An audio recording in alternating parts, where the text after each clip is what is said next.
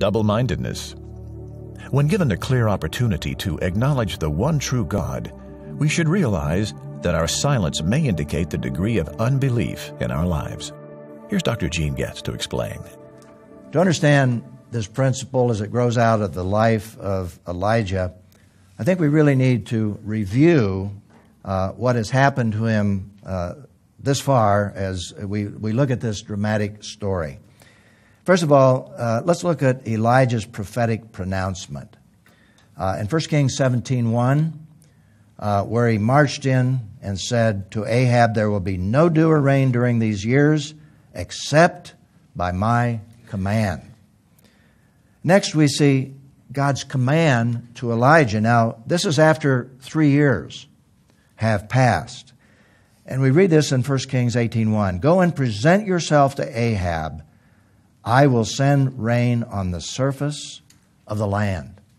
And that was a great command and a great challenge.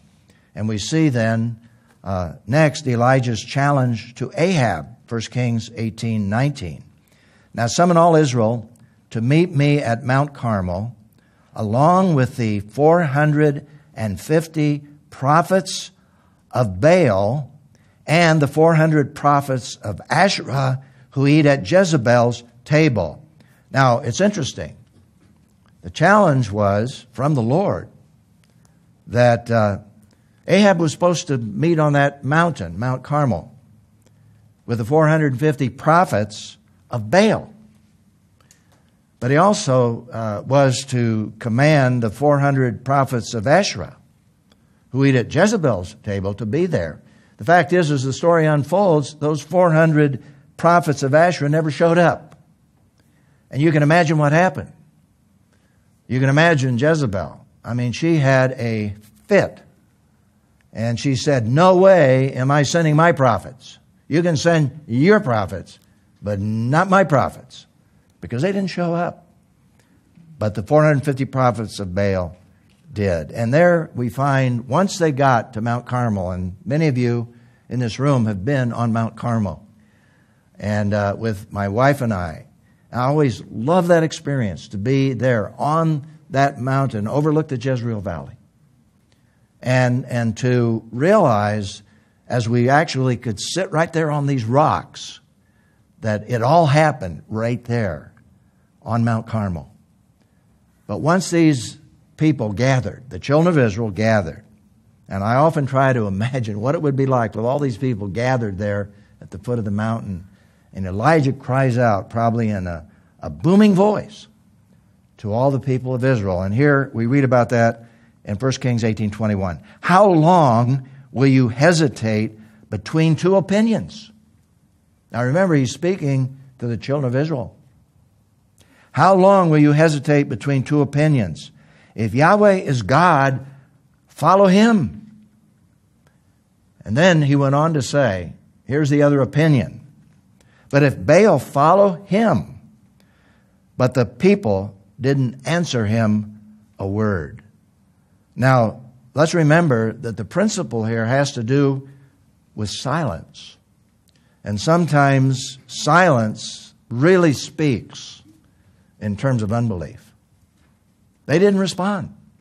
There was silence. Well, the story unfolds. It's an incredible, dramatic story, one of the most dramatic stories in the whole Old Testament, where Elijah challenges the prophets of Baal, all of these prophets up there. And he says, Go ahead. You, uh, you take uh, a bull. In fact, I'll pick out the bull and give him to you so you don't realize that or think that there's some trick here. You take the bull, look at it, put it on the offering, and ask God to come down, start a fire, burn up this sacrifice to Baal. And we read that they, they went through all kinds of cantations, cutting themselves, shouting uh, most of the day, crying out to Baal. Well, you know, nothing happened. Nothing happened. And then Elijah said, okay.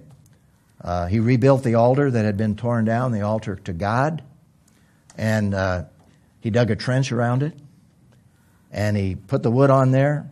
And uh, then he poured water all over it.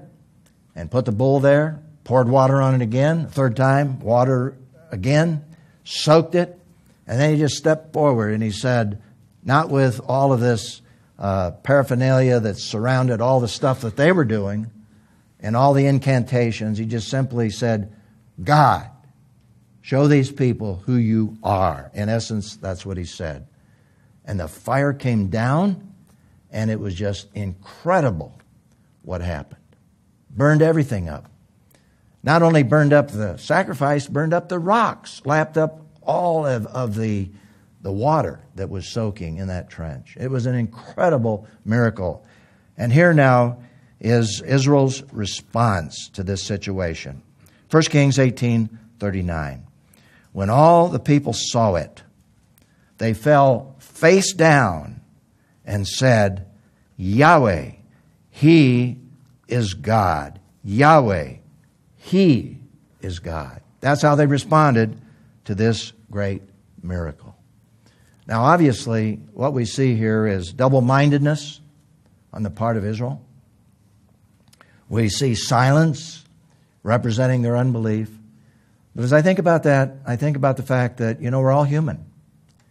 And I think we all face that. And I think Paul illustrates that himself, the internal conflict that Paul himself had. We read about this in Romans 7:19. For I do not do the good that I want to do, but I practice the evil that I do not want to do. Now that's inner conflict. That's conflict. That's double mindedness. Now, that was a temptation. But I think a lot of times uh, Christians reading that passage say, yeah, that's, that's what it is. That's double mindedness. But they forget to read on and go into chapter 8 of the book of Romans. Because there, the double mindedness, though it exists at times, Though we have inner conflict, that's normal. There's an ultimate solution. And we read about it in Romans 8 1. You see, he's building a story here. He's saying, I have inner conflict, but here's the resolve. Here's the answer to that inner conflict Romans 8 1. Therefore, no condemnation now exists for those in Christ Jesus.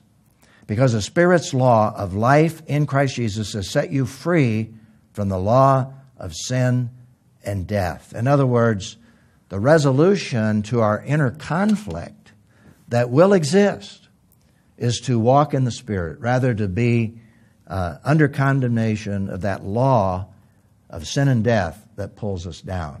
There is freedom in the Lord Jesus Christ from that inner conflict. And uh, though we face it, there is resolution as we live our lives and grow and mature in Jesus Christ. So, the reflection response question is this What are some specific reasons some of us live conflicted lives when it comes to making choices between right and wrong? Well, the answer to that, I think, first and foremost, that we need to acknowledge up front, and that is we're all sinners. You know, even though we're believers, we're still human.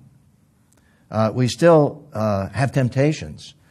And secondly, we live in a world that, that has temptations everywhere around us. They're there, and they're going to cause us to be conflicted. Uh, there's another reason, and certainly this relates back to the children of Israel, though it applies to us, and that is that we just not have presented ourselves to the Lord.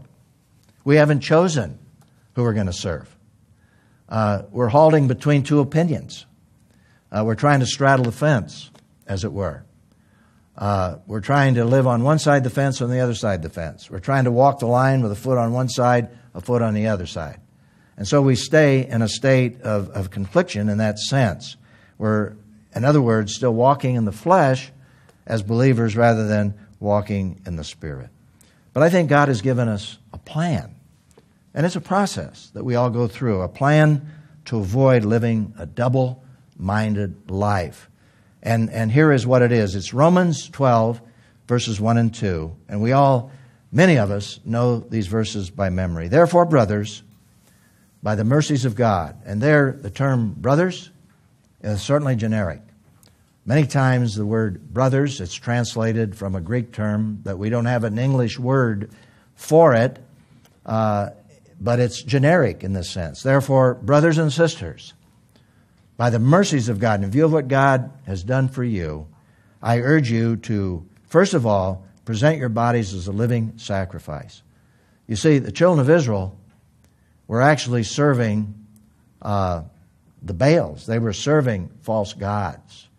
And they had left presenting themselves, themselves to God. And what, what Paul is saying here, now that we live in the full light of God's revelation in Jesus Christ and his resurrection, we're to present our bodies as a living sacrifice. And then he defines that holy, pleasing to God.